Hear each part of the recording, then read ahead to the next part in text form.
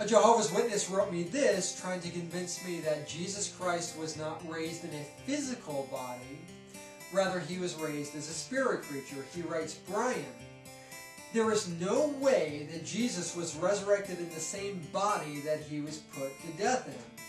If he had taken his body back, then he would have taken back the sacrifice. Can't you get that? Lots of exclamation points. Can you imagine Jesus offering God a sacrifice and then taking it back? That's unthinkable.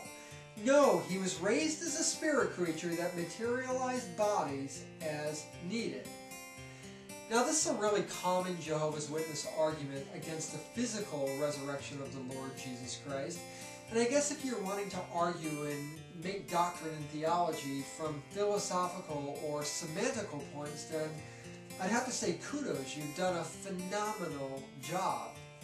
However, if you're like me and other biblical Christians, you want your arguments to be biblical arguments, and you want your theology to be biblical theology, and you want your doctrine to be biblical doctrine. And of course, you'd have to reject this argument because you know what the scriptures say, and you know that it completely contradicts what the scriptures say. You know, if you think about this just for a moment, think about Jesus and how his sacrifice was primarily prefigured in the Old Testament. What comes to mind? It would have to be the Passover lamb, would it not be? And think about the Passover lamb for just a moment. You can read about it in Exodus chapter 12 or Deuteronomy chapter 16 for yourself. But let me just give you a quick little summary to demonstrate how unbiblical this argument actually is. What did the Jews do at the Passover? They selected a blemish-free animal. And what did they do with that animal? They sacrificed it to Jehovah God. Did they not? Of course they did. But what happened after they sacrificed the animal? What did they do? They took the flesh back and they used the flesh for its intended purpose, which of course was consumption. Now, when the Jews took the flesh of the sacrificed animal back, were they taking back the sacrifice?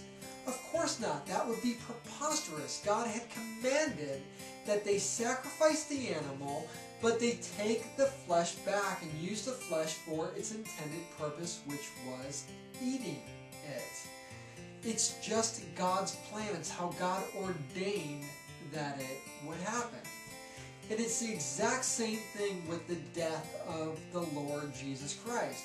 When he was resurrected in his physical body, he no more took the sacrifice back than the Jews at the Passover took the sacrifice back when they received the flesh back.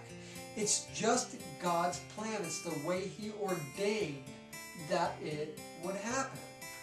You know, the thought of Jesus being raised as a spirit creature and then materializing fake bodies and using those fake bodies to trick people into thinking that he had risen from the dead is an extremely offensive argument. It's in a sense calling Jesus a liar and nothing more than a trickster.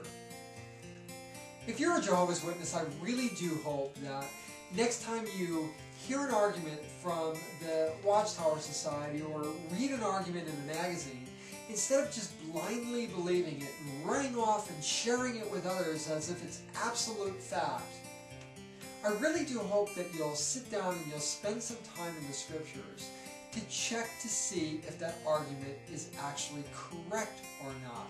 Because clearly, the argument about taking back the sacrifice, it's not a biblical argument. It's actually an anti-biblical argument. You don't want to share anti-biblical arguments with people, do you? I really don't think you do. Please spend some time in the scriptures checking to see if what the Watchtower is teaching you is true. I hope you'll think about doing that.